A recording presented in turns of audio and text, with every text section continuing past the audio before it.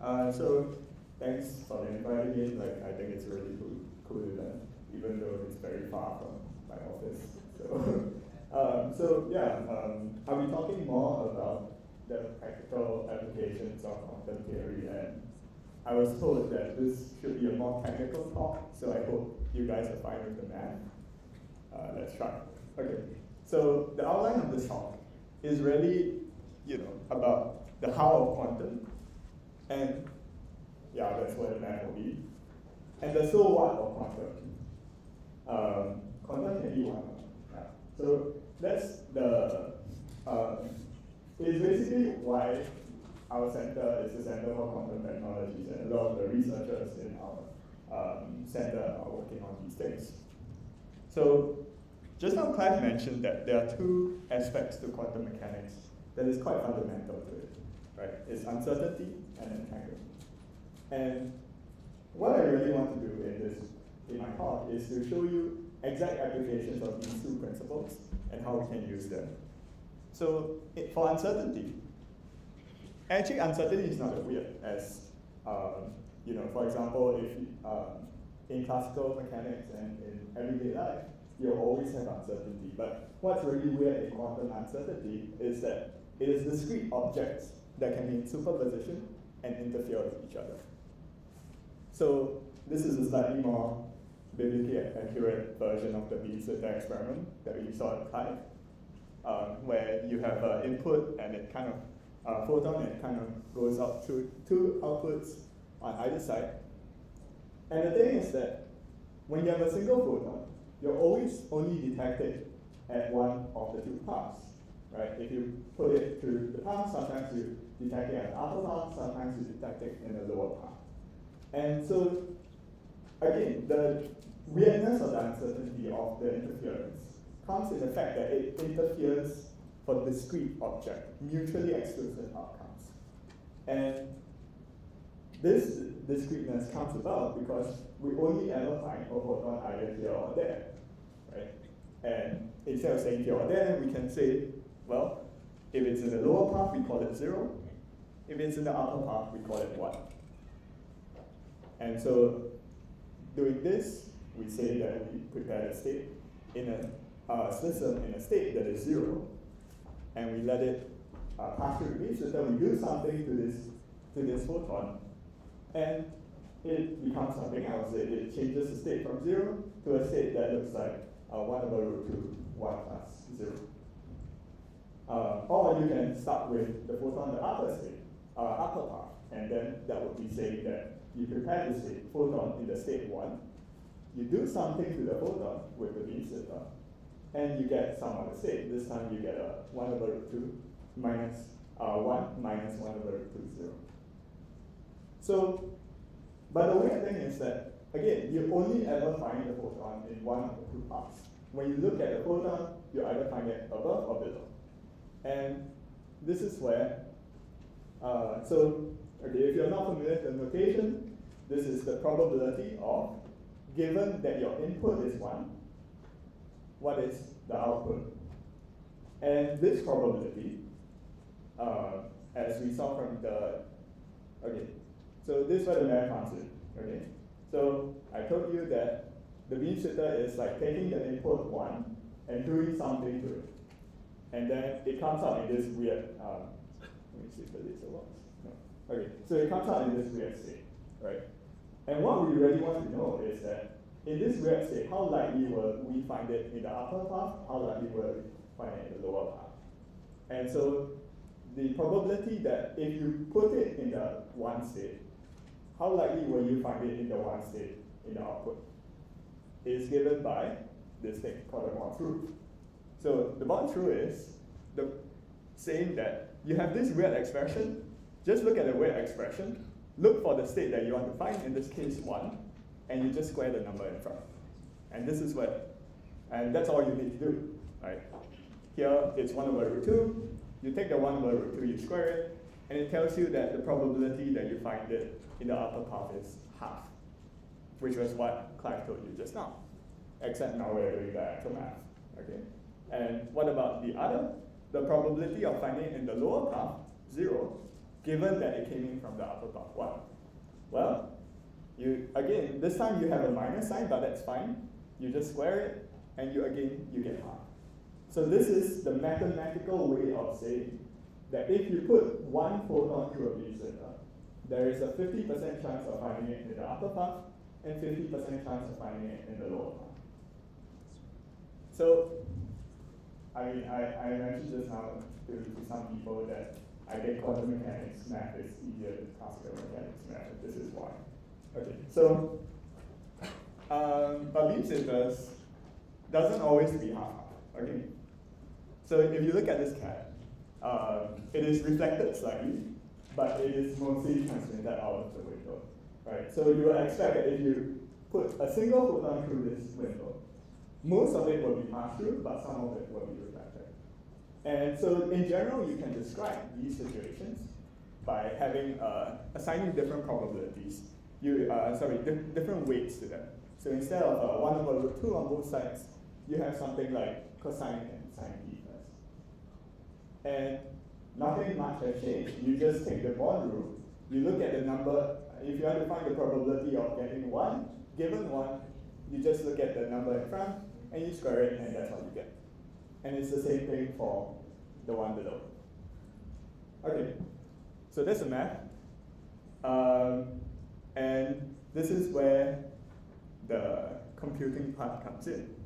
You have a mutually exclusive, uh, two mutually exclusive situations, upper and lower paths. You call it 0 and 1. This is like having quantum bits. Um, with the Born rule telling you what the output will be. Okay?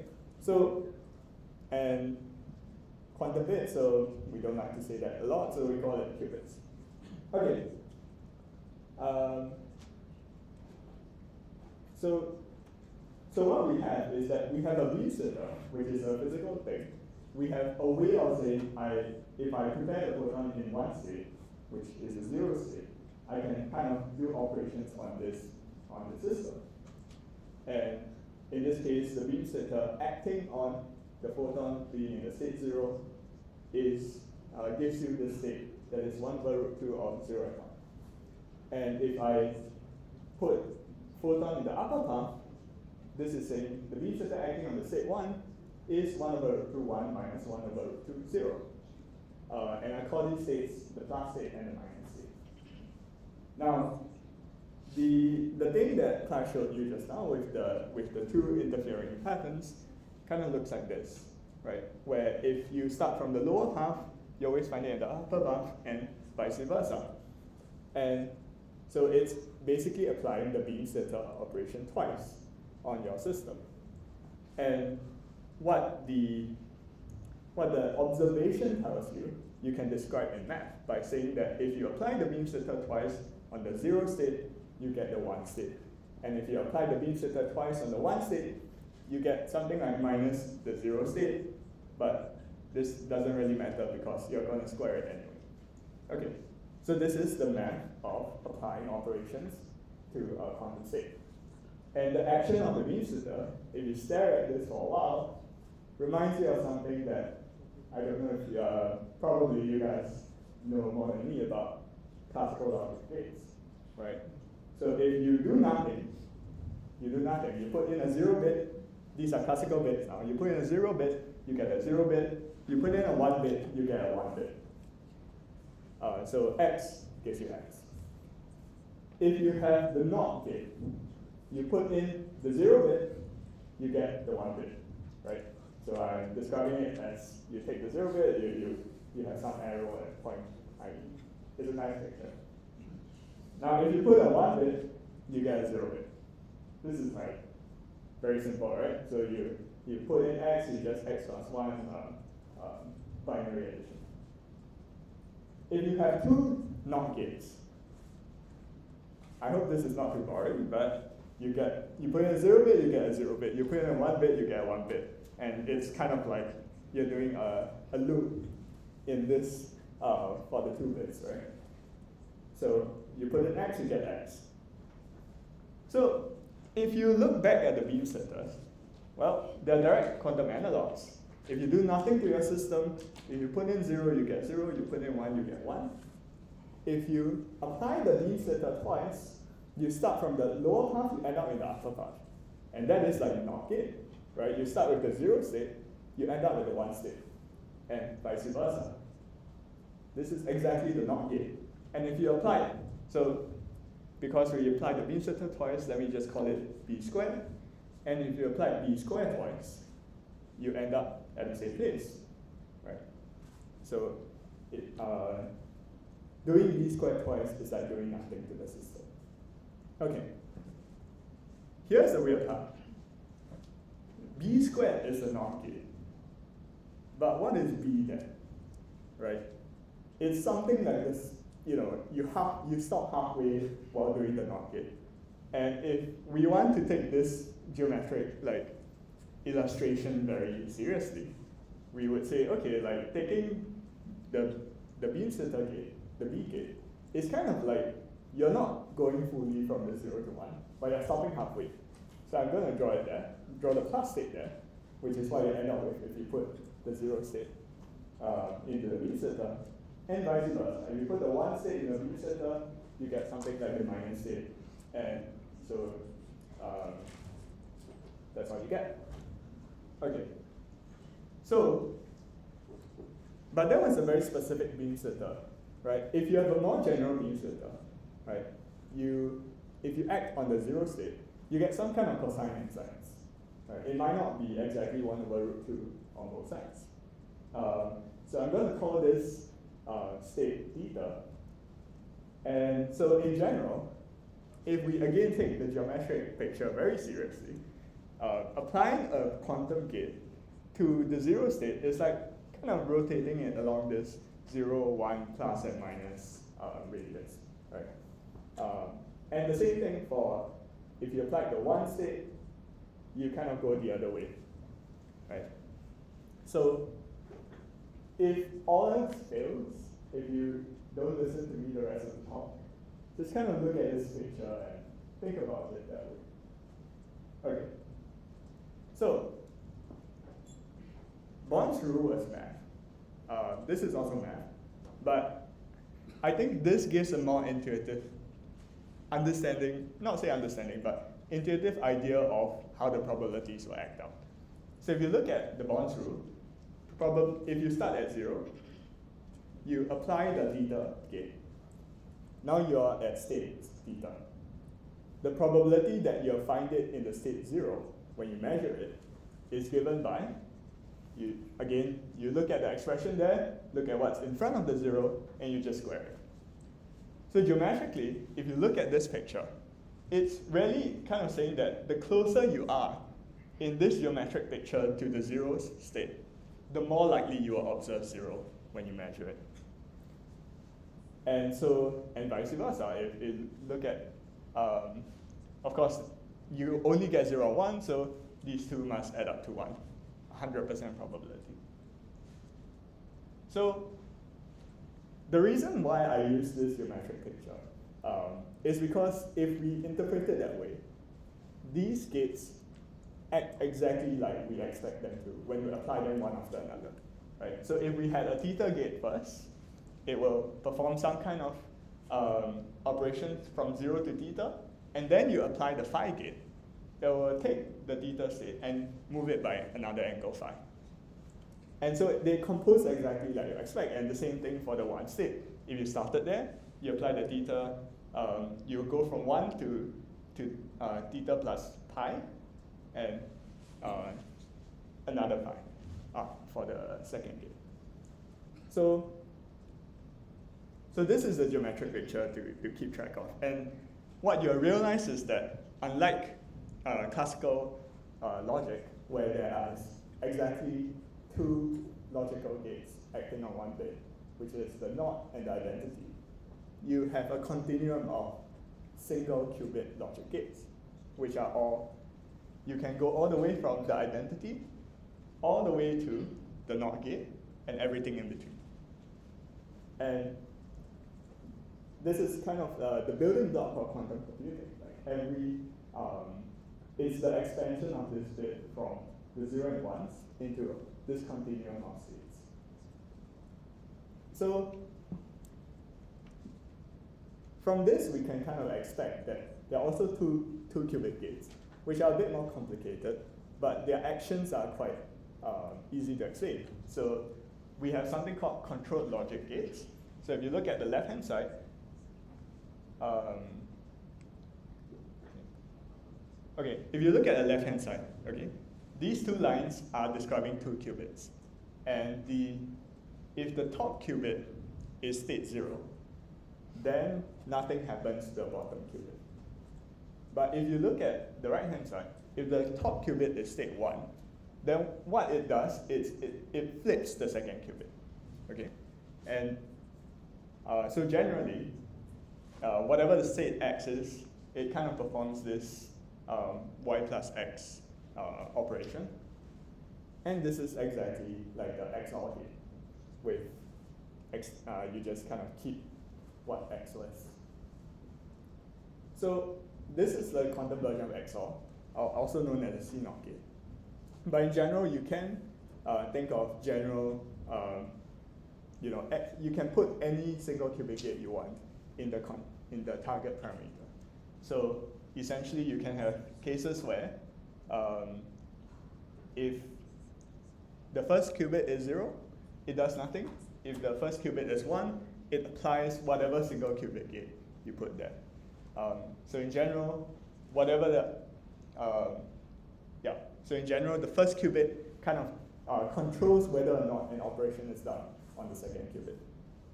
So here, using these building blocks, we can kind of create this very simple circuit with three qubits. Okay, we have two controls and one target. And the first control, control zero, um, causes a rotation of theta, rotation gate of theta, and the second control, control one, uh, does a, a, rotation of 2 theta. So let's try to work this out. Um, I promise you it's not very hard, okay?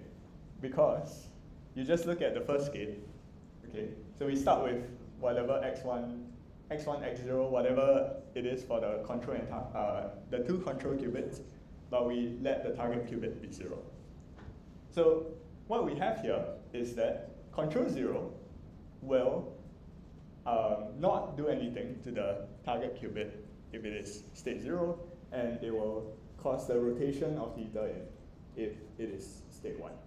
And so essentially all it's saying is that you just take x0, you times theta, right? Because x, if x0 is 0, 0 times theta is 0, so it remains in the 0 state.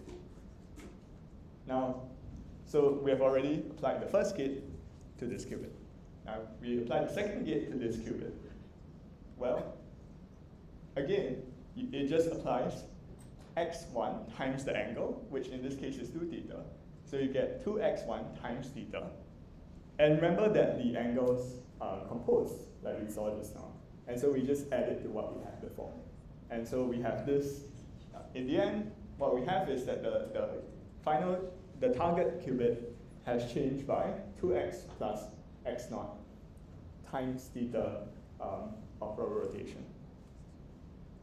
And I'm going to call this big X because this is really just the binary representation of 0, 1, 2, and 3, right?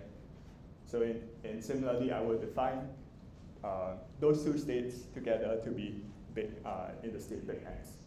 Uh, in case you're not familiar, I, I, think most of you will be, but just in case, if the states are 0 and 0, then the big X is 0. If state is 0, 1, big X is 1. If it's 1, 0, big X is 2, and if it's 1, 1, big X is 3. Very simple. Very simple um, binary representation of numbers.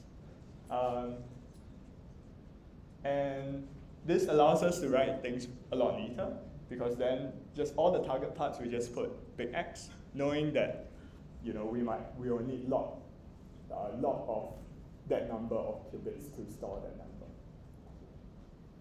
Um, so what does this circuit do, right? If you look at this, it's actually quite obvious that all it does is that it takes whatever big X is and applies that number of rotations to the target qubit.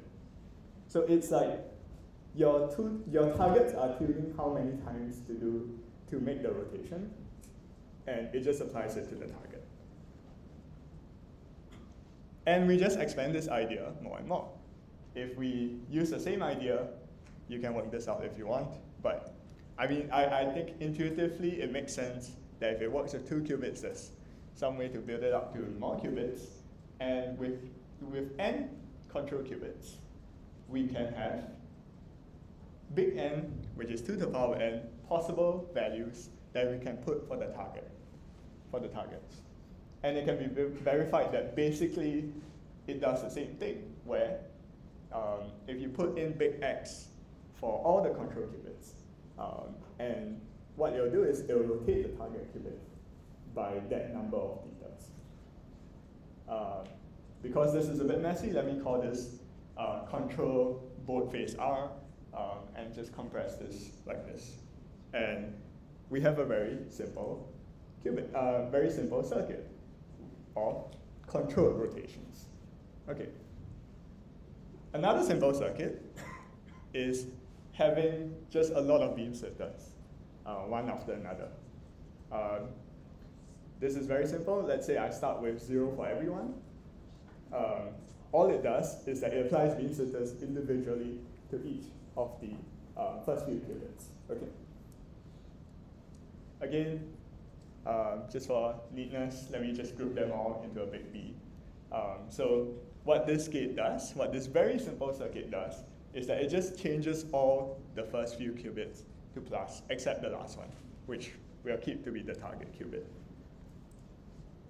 And then we can put them together, okay? We apply the beam, we, we have this uh, very simple qubit that's just a bunch of beam splitters. We have this kind of control rotation thing that, that we can do. And the first part is very simple because the beam splitter part just makes all of them act plus, except for the last one, which remains to be zero. And we know how this control rotation thing acts on a certain state. Except that we know how it acts on the binary representation of the state we have in terms of the zeros and ones.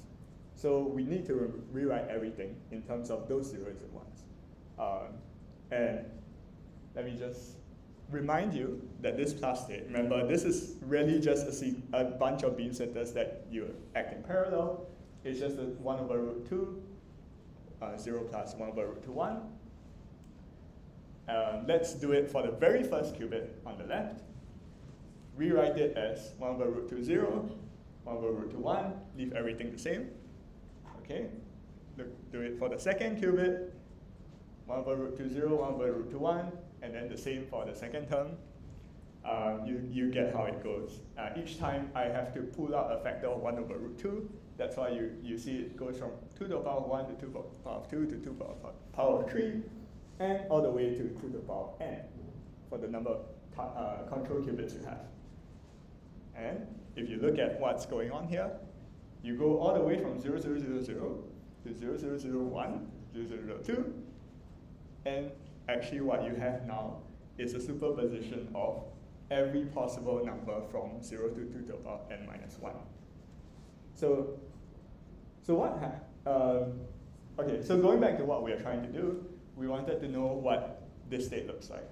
And this control R, as a reminder, all it does, uh, I gave you the wrong reminder, uh, all it does is that it controls, it causes X amount of rotation based on what the control was, okay, uh, on the target qubit. So it, in the first one, the number is zero, so it doesn't cause any rotation. If the uh, control is X, it will cause X amount of rotation, and so on and so forth until the, the very last number. So this is what we have. We have this basically all the way from 0 to 2 to power n minus 1 um, uh, superposition. And for each term, the number of rotation on the target qubit is based on what the control qubit's um, state is. Now, remember that uh, now we want to find the outcome probabilities. So remember that uh, theta the state theta is just cosine theta over 2 plus sine theta over 2 of 0 and 1. So again, I'll rewrite, I'll open this up. Um, uh, the, the theta theta. And from the Born rule, we just look at what the term is in front, right? So the probability of getting uh, x, some x, and 0 is just 1 over n, the mod square of, uh, the square of cosine of that amount of uh, x theta over 2. Okay. So if we only care about the probability of the target qubit, the very last qubit being 0, well, it's a probability of x being 0, and the last qubit being 0, x being 1, and the last qubit being 1, and so on. And you just add them up. Uh, and what you have is that you have 1 over n, you add up cosine 0 theta over 2, 1 theta over 2, and so on and so forth. Okay? And if you look at this, it's really just the average probability of measuring 0 given x of theta. Okay. This is where I bring back the geometric picture. So if you are not listening, it's fine. It's actually not very, um, it's a bit tedious. But geometrically, this is very nice. Like this, um, this circuit, whatever you get at the end, the probability that you find the very last qubit being zero is just the average over whatever theta you have. And you just like sum it over all the points where each time you rotate it, one theta and two theta and three theta and so forth. Um, so what we have is a terrible algorithm for factoring times. Okay, so how does this work? We can make additional control gates where the theta can be controlled by two inputs, p times q, where p and q are prime, and l, such that the theta will become 2 pi of pq over l. So you can always uh, build certain uh, control qubits to make that happen. And so let's just take p times q equals to 10 and n equals to 2 and find the probability of measuring each target qubit to be 0. So remember that uh, at the end of this uh, circuit, what you have is that this you have this 1 over root n 0, um, the target qubit not rotated, rotated once, rotated twice, and so on. Uh, and for n equals to 4, pq equals to 10, and this kind of uh, weird theta. So if you put L equals to 3 inside, theta will become this, um, will go around many times. Um, and on average, if you average over no rotation, one rotation, two rotation, and three rotation, your average time will be somewhere there. Uh, for L equals to 4, you'll add up somewhere here. And L equals to 5, something very interesting happens, right? So recall that even if you don't recall the Born rule, you recall the geometric picture. The closer you are to the point zero, the more likely you are to find it in the state zero. Okay, that, that when you measure it, you'll find that it's zero.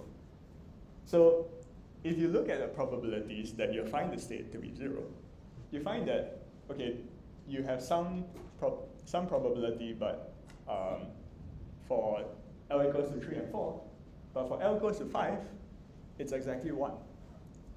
So what's happening here is that you have constructive interference, right? Basically, the number, the loops are such that they all correspond to an integer number of rotations, where L is a prime factor of P and Q. So what you can do here is that if you played this game, right, you apply this algorithm and you measure, you measure the system. If you get the outcome one, you know for sure that your system, uh, that L is not a prime factor of P times Q.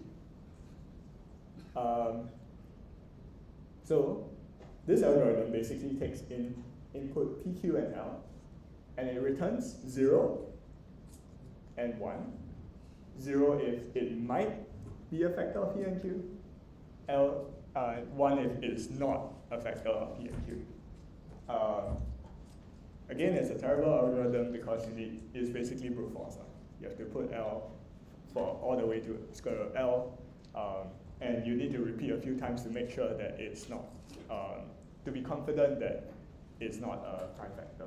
Sorry, to be confident that it is a prime factor. Yeah. But this can be, similar ideas can be used to build more efficient algorithms. This toy algorithm that I showed you, um, if you kind of squint at it, you're like, huh, that looks familiar. That looks like a Fourier transform, right? And with some modification, um, you can actually have a Fourier transform, a quantum version of the Fourier transform, but all the coefficients in front are exactly the Fourier, um, Fourier coefficients, and it requires basically log n squared, big N squared of 1 and 2 qubit. Uh, and in comparison to FFT, does anyone know? Complexity of FFT. N log n. So this is a exponential in, um, speed up of the transform. Um, so, okay, so interference of discrete objects. Um, what is it good for? You have this kind of quantum Fourier transform that is efficient, and you take this kind of interference of prime factor related terms, not exactly, not exactly uh, like what I showed you, but similar ideas, and you have something called Shor's algorithm, which um, for prime factorization the discrete logarithm, which gives you an exponential speedup, which, I mean, that's the fear, right? Like that it can break public key cryptography. Um, that's a general idea. Um, there's also things like database search and linear systems, but I think I've, okay. So if you're interested, the AWS team actually recently put out a survey called Quantum Algorithms, a survey, um, just like a few months ago, last month maybe even. So just Google quantum algorithms or survey. That's the first thing that will pop up, uh, and it's very comprehensive if, uh, to look at. Okay, so a second look at this circuit. Uh, let me go quickly because I'm running out of time. I didn't practice. Uh, so we've just controlled one target. Okay, so if you look at this this state again, if you have just one control and one target, you realize that it's exactly a state 1 over root 2, 0, 0 plus 1 over root 2, 1, 1. Um, if I extended the, the, this, the circuit, the wires like this, uh, rotated it for fun, um, looks a bit unholy, but let's just say whatever state you have, you can kind of give one qubit to Alice, who is on Alpha Centauri, and Bob, who is in Beta Capricorn. So they are very, they are light years apart, okay? Uh, so the probability that Alice will find zero and Bob will find zero is one, uh, is half. Um, and, the, and the probability that they'll find one and one is half. But that it's, um, they, they will not find the case where it's zero and one or one and zero. Okay? So the outcomes are random, but always correlated. And this is what Clive was saying about the Alice and Bob's qubits are entangled. Uh, so the thing is that this correlation persists even if you put them very far apart. Um, and this is what Alice and Bob wants, a box that generates entanglement. But can they really trust that this is not the shoebox scenario? That, that is kind of the, the question that we need to, to ask, right? So, for example, if you wanted to scam Alice and Bob by selling them a shoebox and say it's a quantum computer, right? You can try to use the internet, okay? So what you have is that once Bob measures something, well, the detector just has a secret internet connection that sends the answer to Alice, and Alice uh, just repeats whatever answer Bob has. But assuming that special relativity is correct, because they're light years apart, nothing can travel faster than light. And so scammers cannot use this method. Now, you can try to use this hidden variable thing, which is you define some random variable, right, at the source, and you just send that random variable to Alice's detector and Bob's detector, and you make it so that Alice and, and Bob's detector just kind of repeats whatever that random variable is. So if you sampled half-half for the random variable, every time they will just get, um, okay, so the detectors are now just revealing this hidden variable, but because it's the same hidden variable, of course, you'll always get either the same, um, Alice and Bob will always get the same answer. Now, what if you have a more complicated setup with inputs for Alice and Bob? Let's say Alice and Bob, when they see the qubit coming, only when they see the qubit coming, they kind of randomly choose x, their um, 0 or 1, and they do something to that qubit. Okay? And then they measure it. Now, so x and y are randomly chosen, and only when the qubit actually arrives at their location. Then Alice and Bob can play a game with this setup. You know, it's them versus the machine. So they play this game where they measure A and B for many randomly, so A and B are just the outcome measurements of Alice and Bob. So they measure this for many randomly chosen X and Y, um, and they calculate this weird score where E is just how correlated they are. So it's the, the probability that they are the same minus probability that they are different.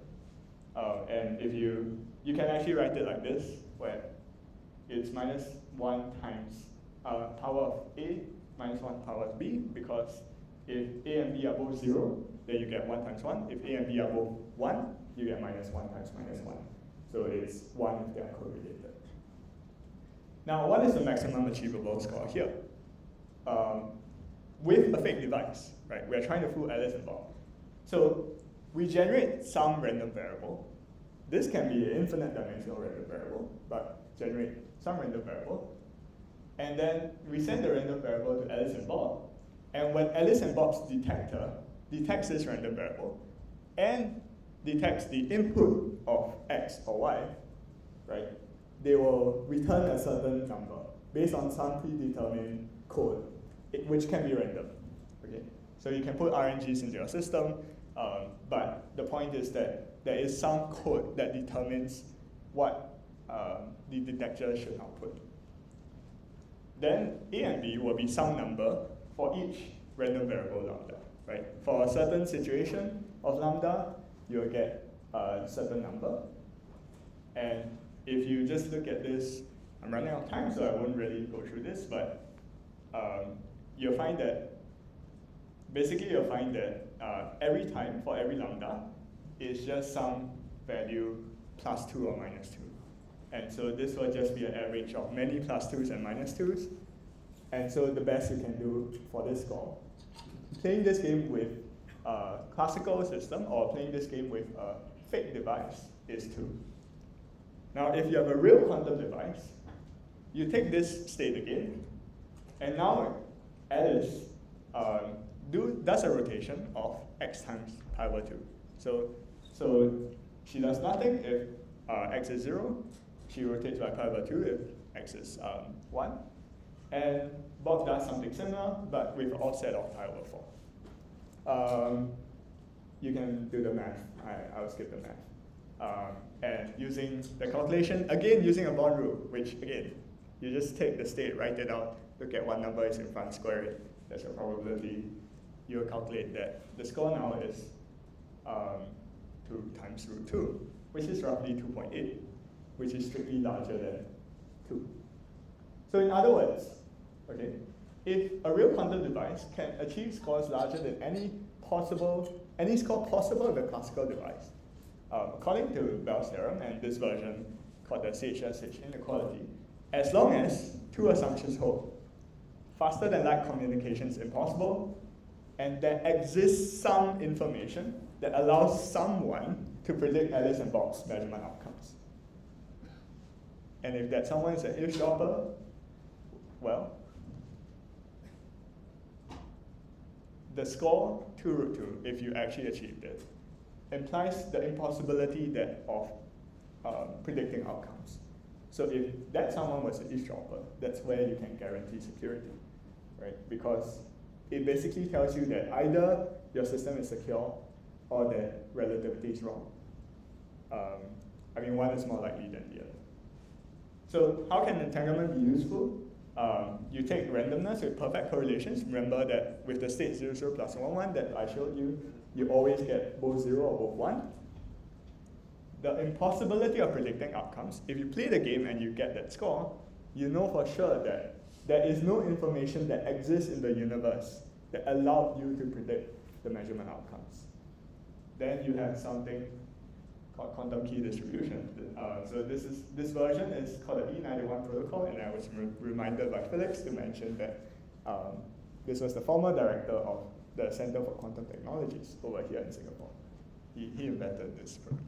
Okay, so this is a protocol to distribute private keys with a security that's guaranteed by physics. And it's a possibility to fix the broken um, cryptography. Okay, I'll end here because I have overrun. So the nice thing about Bell's theorem is that it brings together the two key pillars of quantum theory, right? This randomness due to uncertainty is intrinsic to nature. It does not and it cannot come from a lack of knowledge. Because again, with Bell's theorem, it tells you that if there was some way to predict the outcomes, you would not get to root 2. Which means that this randomness is not something that comes from our ignorance, but something from nature. And we can go, with entanglement, we can go beyond classical relations. This quantum correlations at a distance exist, and is something that cannot be explained by classical physics. Unless special relativity is wrong, um, that's a possibility, but we will have a lot more problems if that happened. So, okay, I'll just end here. Um, let me just go all the way to the ending slide, the concluding slide. Sorry. Ah. Okay, so conclusion, how quantum, von Neumann blocks here. Okay, the geometric picture I showed you is a real mathematical thing. Um, so I, I wasn't just, you know, making it up. Um, the so what of quantum, we have quantum Fourier transform, exponential speed up, Shor's algorithm, exponential speedup for prime factorization. Entanglement, we had Bell's theorem, and how we can use it is in having a way to distribute private keys, and some others. Uh, so thanks for your attention. All right, thank you, Lin. Uh, does anybody have any questions? Okay, yeah.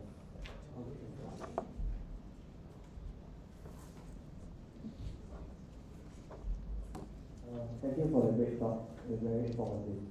Uh, just now you mentioned the post-truth quantum cryptography, like E.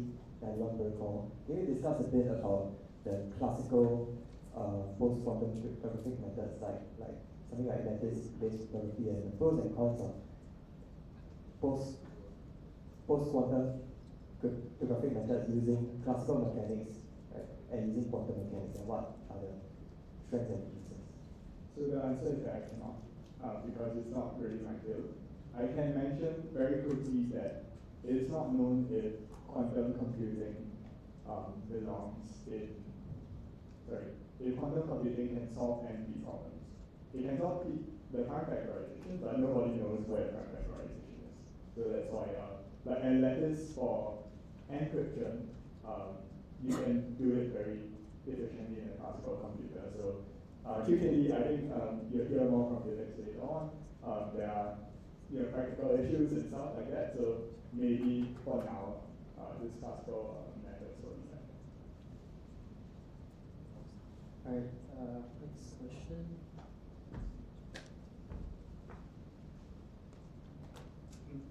So you mentioned that uh, mentioning that if special relativity was wrong, we would have more problems. What problems would we specifically have in the field of quantum computing if it was proved that special relativity was wrong? And um, basically, you uh, no longer have causation, so that's pretty bad. Any more questions?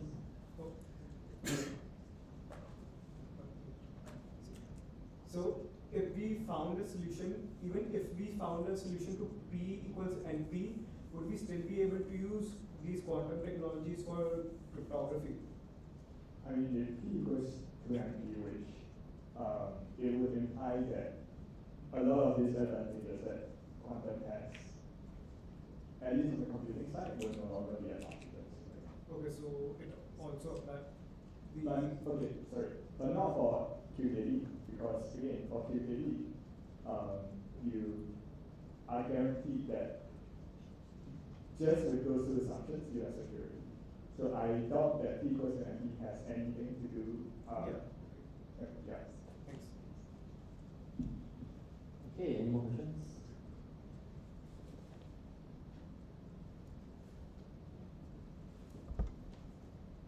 All right, I guess that concludes Q&A. Thank you so much, Lin.